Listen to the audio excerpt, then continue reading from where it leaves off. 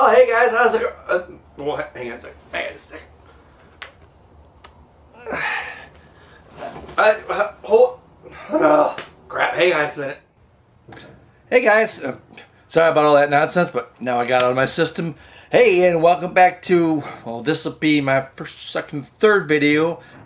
Third video on programming. Uh, hang on, left eye. Programming, yeah. Well, so if you followed along this far, uh, the first couple videos, I'm guessing by now you're probably pretty tired of bouncing crap around the screen. So in this video, we'll be bouncing crap around the screen. But don't you worry, much better crap, I promise. Just, I promise you, just watch this. You'll see what I mean. Hang on. Alright, gang, well, here we are, with the latest program. This is uh, QBA03, that's uh, QBasic Asylum 03, and we'll just run this here, and I'd like you to see, boop, start, meet my new friend, where is he? Come on, there he is. That's Mr. Derp. Oh, Herp D Derp to be precise, and he's just bouncing around the screen annoying everybody with that sound. You see the sound down up here, but no problem. We'll just hit the S key and boop, sound off. No more annoying sound, unless you count my voice. But so now we just hit S key again, and it's back on, off, on, off. Simple enough. I'll show you how to do that. And also, of course, meet this little feller here. We got to bounce him around the screen. Like I was saying, aliens or this idiot whatever you want to uh, put on screen, you can bounce around and so it'll be good. Now let's just stop this. Boop. Okay here. Well, there's our lovely code. Uh, and some of it will be familiar if you've seen the first couple videos. Some new stuff as well. But let's have at it here. Alright. To begin with, maybe I'll zoom in just a hair and make this a little more legible. There we go. Okay. So, here we've got, okay, this, uh, I mentioned this in my last video. I don't know if it was really in focus, but def int A through Z. And again, that's define integer or default integer A through Z. As mentioned before, if you had said, for example, def int L through Z, then anything up to L would be uh, would be single precision floating point, and then everything else would be int. There's also, well, let's take the, I'll show you this here because look, check this out help def int. All right, and if you notice, we got our, our, the default data types. So here's def int, which we used before. That's default integer. So every variable is integer unless you specify otherwise. Uh, and then of course you got default long. That's a long integer, so up to I guess a billion whatever numbers. But again, no fractional part, just integers. Now, if you got single and double, these are floating point uh, 2.7, 9.385, whatever.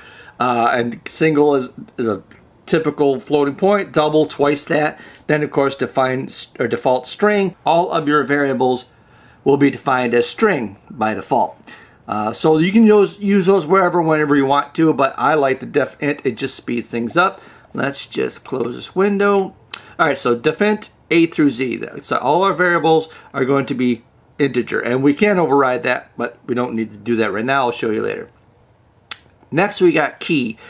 We're defining key 15. Now this statement here says key 15. There's 15, actually is it, I don't know, a bunch of, of usable uh, user programmable keys starting with 15 up to I think 21. But in any case, you select your key number, then you put this garbage in here and that tells QBasic which key it's going to be. In this case, character 0, that tells it whether a shift key is pressed or an alt key or a control key. In this case, none of them are pressed, so it's just zero. Then character, the actual screen code, in this case 31 is the S key. so this, this statement here defines key 15 as the S key. Now this one turns key 15 on so it can trap whatever's happening with key. And then here we got on key 15 go sub sound toggle. So this sets up the key, tells QBasic what key we'll be using, this turns it on, makes it active, and then when the key is pressed, we go to the sound toggle, which is another subroutine. We'll get to that as we get to it. Next, we got dim derp. What is this? Well, derp, if you'll notice, this is another variable. In this case, it's got this number after it. This is actually an array. An array is like a variable, except that where a variable can hold one value, like 17 or 37 or 95, an array can hold multiple variables, in this case 965 of them. And that is just a, a, section of memory set aside to hold our image of Mr. Derp. You don't need to worry too much about that. We'll talk about uh, variables again in another, another video. So again, x1 is 50, y1 equals 50, h1 and v1, these are our position and directions as we mentioned in, in other videos. Sound, SMD, that's a variable that tells the, the QBasic the sound is currently on. And then we go sub, draw derp. This is another subroutine down here which we'll get to and that draws the actual derp character. Then we have a line which draws a box around the screen and locate print sound on. So all this is, by the way, if you notice, I don't know if you can see here, but I got, these are all apostrophes here, initialized program, which anything that starts with an apostrophe uh, is, QBasic calls it a, uh, a, comment. Basically it ignores it, uh, ignores it. It's just something that is for the programmer to see and to help them understand what's going on. But in this case, I use it as a header to section, section off my program. So this is the initialized part where all the stuff happens before the program starts. Then we got the main program. And just full screen this here. There we go. Main program, and if we scroll down, here are the subroutines I talked to you about for screen 13. This is actually to draw the derp character, and then we move them around. There's the sound toggle I mentioned. So we go to the main program here, and as again, it's a do loop like most programs. We start here, we go sub move derp. That's the subroutine that moves the character around the screen. Next is a for a for next loop, which is Z, 1 to 1000, and then next Z. By the way, if you notice, oh, excuse me, my throat's a little dry here. If you notice, I've got 4Z equals 1 to 1000, next Z. Now this is not necessary. That will work perfectly fine. I just like to put the Z there so I know which one it is. In case I nest one loop inside another, I know, let's see, I've ended this loop, and what if I got loop for A is 1 to a 1,000. Next A. This way I know this next goes with this 4. And it just helps keep them straight. When you got one loop, it's not an issue, but it's a good habit to get into. Then, of course, loop while inkey equals nothing. We've discussed that in the past. Basically just loops until a key is pressed. Then we hit system, which ends the program. So let's take a look at our first subroutine, draw derp, which is right here. We got the derp label there, draw derp. First uh, line sets it into screen 13. Uh, screen mode 13 is uh, graphics. Again, as I mentioned, it's uh, what 300 by 320 by 200 pixels, 300 columns, 200 rows, and 16. No, actually, it's 256 colors. My mistake.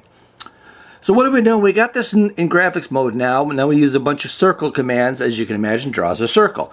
Well, that just draws the outside of the Mr. Derp, and here's his eyes, draws them. Now, where's the one? Uh, okay, if you'll notice, I think it's one of these here, but here's a line that draws, draws a straight line. This paints the, the character with specific color. Circles here. Now, this is it for a smile, I believe. And if you notice here, all these these uh, extra parameters. Here's the circle. There's the location, the size. Where is the one with the... This one actually is the one. The circle, the location, the size, the color, and then what's all this nonsense? Well, that tells QBasic where to start and where to end the circle. You see, you don't have to uh, draw a complete circle. We'll just put stop in here for the moment. Run this, and it'll stop at that point. Okay, now we can go to view. Here's another handy thing you can see up here. View, output screen. And what have we got so far? There it is. Yeah, if you notice, there's this circle that his, his main, uh, his face, whatever. This is his smile. And if you notice, it starts and stops. Well, that's what the extra, the extra parameters are for. And you can, that's in radians, which you can, you can uh, experiment with that later. But that just, it starts and it stops at that point. So you don't have to draw a full circle. Now we'll get rid of this the stop. I don't need that. And again, you experiment with different colors and different uh, sizes, what have you. But basically, this, this routine just draws the, the character. Sets in screen mode, draws the first circle, and then all his eyes, his mouth, everything else. A line, that's the line around, oh, that's the line from the top of his mouth. A paint, paint, paint. The the different colors of his face, his eyes, etc. More circles, excuse me, paint, and a pset. Where did, um, okay, line. This one here. This line, if you notice, it's got the start, this point here, and it's a diagonal, so it would be like a diagonal line. However, we got the color 15 and then BF. That stands for box fill. So what it does is it draws a box. Instead of just a line from here to there, it draws a box on screen and then fills it with color 15. So that becomes his tooth. So let's do this. Uh, do, do, do. Nope, I'm used to the touchscreen. Uh, stop. Okay, now we'll run this. And start. Again, view, output screen. What do we got here? Go on DOSBox, quit wasting my time. There he is, Mr. Derp. Let me see if I can zoom in here. Uh, do, do, do, do. Oh, there he is, Derpy. Okay. Now the line we were talking about, that's his tooth right there. It would be just a, a diagonal line, but with the uh, parameter BF, that's box, draws a box, and then F is fill, so it fills it with white. Otherwise, it would just be a white rectangle. All right, so let's zoom back out here. This here, zoom back out, see the screen again. Come on, zoom out. There we go. So that draws Derp. Now, we've got him drawn, and what are we going to do with him? We need to we need to get him and stuff him into that array derp I was telling you about earlier. So if we notice, it says get, that's the, the top left and the bottom right corner of the image. And says gets the, the array, the section of the screen, and stuffs it into the derp array. That's so we can put that on screen later. Now we clear, clear screen because we're done. We want to start our program. So we come up here, do sub, or sorry, go sub, draw derp. That's get that out of the way before the program starts. We've drawn the image, stuffed it in the, the memory in that derp array. Now we're ready to use it. So we go to do, go sub, move derp. This is where we actually move him around. And let's go move derp. There he is. Typical stuff. If x is x1 is less than 2 or x1 is greater than 271, then h equals h1 times negative 1. Okay, you've seen all of that before in the previous videos. That just calculates the next location for him. But look at here. If sound equals 1, then sound 880.5. What's that? Well, if the sound variable, which you saw that was set up to 1 up there, if it's 1, then we do the sound 880. That's the 880 cycles per second, or hertz. It's like a high A on the keyboard. And then 0.5 is uh, fifth of a second, I guess, half a second. No, half a second. Duh, 0.5. That's if derp hits the, I guess, the either side, then it makes that sound. And notice if y, if it comes up here and, and bounces off the side, then if sound is 1, then sound equals 440. That's an octave lower, and again for a fifth of a, of a second. Calculates the next location. Now we put derp p set. What does that mean? Well, derp is the actual array, that's our image, and pset stands for pixel set. In other words, whatever else is on screen, it's going to just overwrite it and obliterate it. This way you get a flicker-free image and it looks good and it's not opaque or translucent. Then for D equals 1 to 2000, again, just delay, next D, and put derp pset again. Same place, we put it again, that makes it disappear. So we calculate our, our location and whether we've hit a boundary, whether we need to play a sound. This puts the new location. Then we put derp, put derp on screen. We wait a second here for this for next, for next, for next, so you can see them, and it, uh, it kind of reduces the flicker. Then we put derp in the same spot, makes him disappear. Go through the whole thing again. Uh, check if he's hit a boundary, play the sounds if necessary. Next location, put him on screen, and then there you have it. So that's about all there is for the Move Derp subroutine. Let's on uh, the sound toggle here. And this is kind of interesting. All right, so sound toggle, sound equals 1 minus sound. Now this is kind of similar to the H equals H times negative 1. Instead of going from 1 to negative 1, what this does, it takes sound, whatever it is. Starts out as 1. So now it's 1 minus 1. Then it equals 0. Now the next time this, this executes, sound will be zero. So sound equals 0, sound equals 1 minus 0, or back to 1. In other words, every time this line is, is encountered, the sound variable goes from 1 to 0 to 1 to 0 back and forth.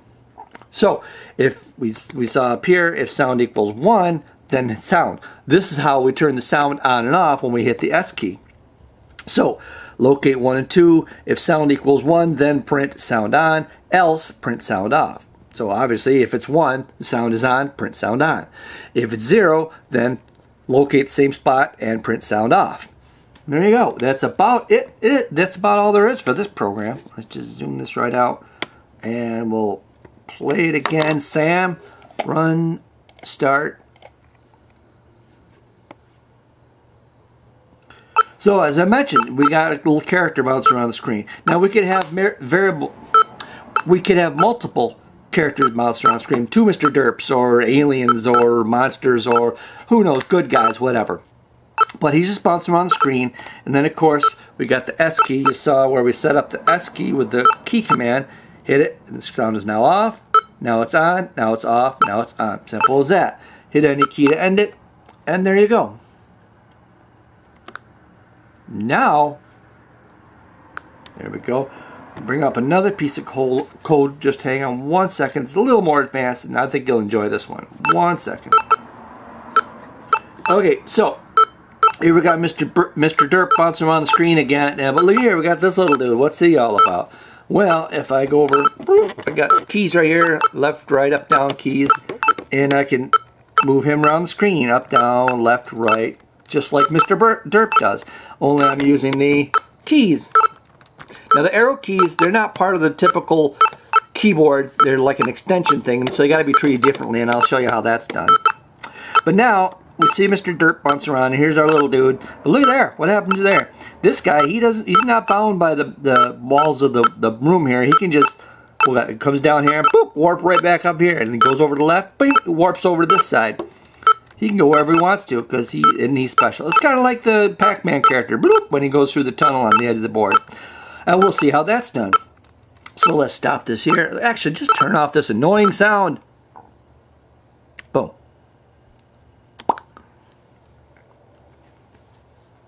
All right, so from the top. Now, I can zoom in just to here. I don't want to blurry things. Come on, zoom. Make it a little easier. There we go. So again, our def int, that's default integer, key 15, character 0. Now this is, uh, you've seen this all before. This is the no, uh, what am I saying? No shift, no alternate, etc. And then character 31, that's the scan code for the S key. Key 15 is on, and then on key 15 we go sub the sound toggle. Now, these, again, this is notice says character 128 plus character 72. So key 17 is set up as the up key. That's, well you saw I was using the keys over here. And key 16, this, this defines what key we're going to use. In this case, the up key. Now key 16 on, we turned it on so it's so it's actually active. And then on key 16, we go sub the up routine. Similar, key 17, here's the scan code for the down arrow. We turn key 17 on, and then on key 17, when we press key 17, we go down. Same thing with left, same thing with right. Now there's dim derp. This is all from the previous code there that just puts uh, creates an array for Mr. Derp to go into sets up our variables, sounds, etc., etc., etc. But let's take, here's one more thing. Direction is zero. So at first, he's not moving anywhere. Let's just uh, take a look at the up, down, left, right uh, subroutines because I think you've seen everything else before. Oh, well, move dude, we'll, we'll show you that one here. Uh, okay, oh, it's simple. This is up right here. Up, direction equals up, and then return. That's all it is. When you hit the up key, it comes down to this routine, up or the line label I should say, up. Notice it says up with a colon, that's a line label. Direction equals up, and then return. Now we hit the down key, down, direction equals down, and return. Same with left, direction equals left, right, direction equals right, and return. Now, here's where we move our dude. So we uh, we go sub move derp, and then we go sub move dude. Now the move dude, it looks at the variable uh, direction, where is it? Select case direction. Now, if notice this is something new. This is select case instead of a bunch of if statements. If direction equals this, if direction equals that, if direction. If is great if you have just like two two possible uh, conditions, yes or no, left or right, up or down. And you can nest a bunch of nifs, but it gets it just gets ugly in my my opinion. So I like to use select case. So what I do, first of all, we print space and then we go to select case direction. Now notice when we hit the up down keys we set direction to either up down left or right. So if it's up then we remove we select one from Y2 moving him up and if it's less than 3 then Y2 equals 23. In other words if we come up and we get less to 3 it pops them back down here. It removes or reduces Y2 every time it's pressed but if it gets less than 3, it brings them down here, sets it back to 23. That's how he warps up. If we're hitting down, it just adds 1 to y, bringing them down. And if it gets more than 23, brings it back to 3. So it comes down here. If we're over 23, poop, popping back up on screen, warp, warp, warp. And then left and right, same thing. Instead of y, we're changing the, the x variable to let minus 1 moves them left, hence the, the variable left, and plus 1 moves them right. Again, if it's less than 2, then it brings it to 39, warps them over here. If it's greater than 39, he warps over that way. That's how he rolls around the screen and warps. So, and select. Basically, we got select case. There's a variable we're checking, direction. And the case is up, or case down, or case left, or case right, whichever happens to be. It does that, and then end select. So it's just a nice, neat, compact way of, of choosing from a number of variables or a number of options. Okay, so lo locate character 2 and print, or I'm sorry, locate y2, x2. Remember, this is text, not graphics. And then we print character 1. So what's this all about? Well, let's take a look here. Help, uh, contents, and character ASCII character codes. Boop. Now, if look, uh, well, S, we were looking at S earlier. Uh, where'd it go? Well, that's ASCII, not scan codes. But each each number, each character, uh, less than, greater than, each letter, all these things, they all have uh, ASCII codes to tell the computer, okay, if it's 56, then print an 8. If it's 72, print a capital H.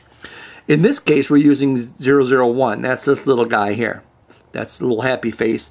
And this is a happy, well, we can do this. Check this out. Uh, escape out of here. And where are we going? Come on, where are I? Okay, character one. So let's run this and we see what we got. We got this happy little dude here. Kind of looks like uh, hollow with white eyes, white mouth. But let's do this. Character 2 and run again.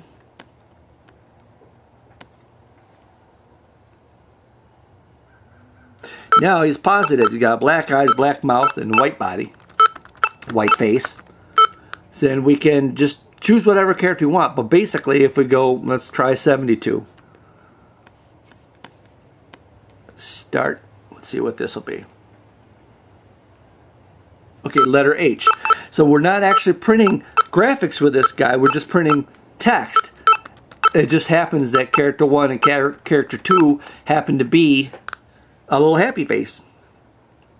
Now there are other boop, other characters that in the you saw in the, in the list there, the ASCII code. Let's make this two because I like that a little better. Uh, help contents ASCII codes. Now I'll go with one because that's the standard. There's a heart, there's diamond, clubs, and spades. Obviously, like for cards, these little dots. And oh, there's the male symbol, female symbol, uh, uh, musical notes, all kinds of crazy things in here. And if you scroll down, see here's our, our letters again, all the way up to the parentheses, everything else. But let's take a look. There's even extended character codes where you got little boxes and upside down things and quarters and, and uh, um, foreign numbers, uh, foreign letters, excuse me. All these little, for drawing images on screen, look like text, or look like graphics, but they're really just text. And that's what we're doing here. So we'll get out of here. Boom. And as we saw, we got the move dude. What that does is it takes a look at the direction uh, variable, which is controlled by hitting the arrow keys. And depending what the variable value is, whether it's up, down, left, or right, we move, we change the y or x coordinates and then print character. We'll put them back to 1. I'm kind of partial to 1. 1. Print him on screen. And then if direction is, is nothing, just return. So if you're not pressing a key, it doesn't move anything, it just leaves him where he is. Now we locate 115, that's what? It's uh, row, yeah, row 1, column 15, to print direction using, this here is interesting. What that's telling us is it's going to print it, but using this format. In other words, up to three digits. So if we wanted to print just the one digit, it would be one hashtag. Two digits, two hashtags. We want three digits, so it's three di uh, hashtags. And then X and Y. X2, Y2 for Mr. Dude's location. Direction equals nothing, then return. So we'll run this. Boop, boop. Okay. There's Mr. Mr. our dude there, and he's at currently at 10, 10. We move him up one. Now he just up, it was up 10, 9. So he's at column 10, row 9, row 8, 7, 6, etc. and warps around. If we move him left, then his column 9, 8, 7. You get the idea, right? Up, down. Which none of this we really need. It's just to illustrate what's happening here when you hit up key, down key, left, right, whatever. Ah, let's turn off this annoying sound. So, I don't know about you, but I'm almost starting to see the, the basis of a game right here.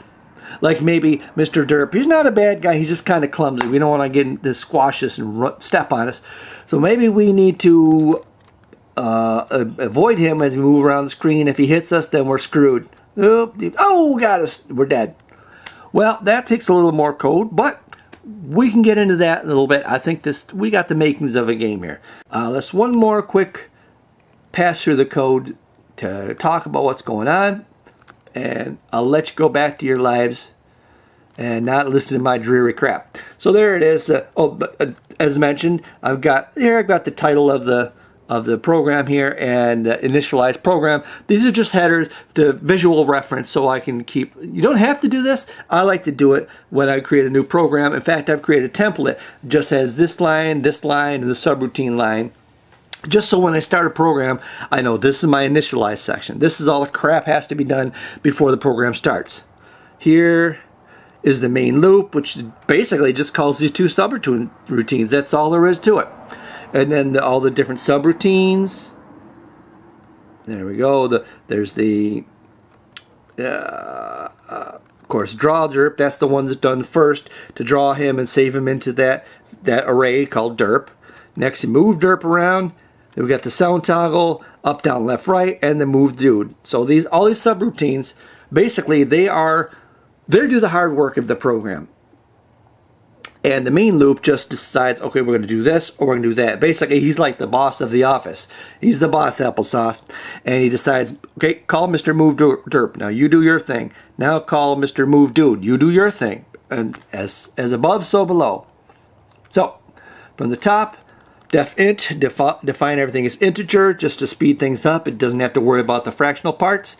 Now we define all our keys. Keys 15, that's the, the, the S key, and that's the for, S for sound, obviously. We turn the S key on, and now once it's on, we tell it on key 15, when the key 15 is pressed, go sub sound toggle. Same thing here. We define 16 as the up key, up arrow key. We turn it on, and then on key, up key, go sub up. Define it, turn it on, go sub down. Same thing for all these up, down, left, right arrows dim derp that sets aside a, an array of memory to store the image into, Mr. Derp. Here's our variables we set up. Where is he? Where is he going? Uh, X2 and Y2, that, those are the, the current location of Mr. our dude. As sound is equal to 1, so sound is on to start. Direction is nothing. He's not moving anywhere. Go sub draw derp. That's where we draw the actual image and store it into the array. Then we draw the line. That's the box you saw around. See, see there's perfect example. The line top left and bottom right corners. 15 is, is white, and then B for box. That's the line you saw around the screen. Or the box you saw around the screen, I'm sorry. Locate sound on, and then print using the, the location. You'll figure that out as you go. Main program, do, go sub move, go sub uh, move derp, move dude, loop while inkey. Simple. So the subroutine draw derp, again, we set it in the screen mode 13. That's the graphics mode, 320 uh, column, yeah, 2300 columns by 200 rows and 256 different colors. So we draw our circles, that's his, his face, his eyes, his mouth, everything else. Line, that's the line across the top of his mouth, so it's a little D shape. Paint, that paints the different colors, it's this case 14. Now this is interesting. Paint, that's where it starts painting. It's basically one pixel, pixel somewhere inside the area you want to paint. That's the color you're painting, and that's when to stop. So in other words, it starts painting 14, yellow, until it sees a yellow pixel. That's how it knows not to paint the whole screen, it just paints inside that circle. This one here, paint 15 or white until it sees 14. So that's the, the white of his eyes. In other words, inside these circles here, it starts painting white until it sees yellow. That's color of his face. And then here's the other one for the other eye. Circles for his mouth, everything else. Paint, paint, that paints the color of his mouth. P-set, uh, not sure what those do offhand. Oh, that's the his iris, the little iris of his eyes. The black, the pupil, I should say. It's really the pupil of his eyes. Paint, paint. Now here's the line for his, his tooth. Up left, bottom right corners. It's 15, which is white. Box fill, so it's a nice filled box. It's his tooth. Now we get derp, and this is a good point here. Now we need to decide we're going to put derp into that array. How do we know what size array to make? Well, simple. I just went up here, and initially I wrote dim derp, and I put something like 10,000, some absurdly large number in there. That was way too big, too much memory, I was wasting it.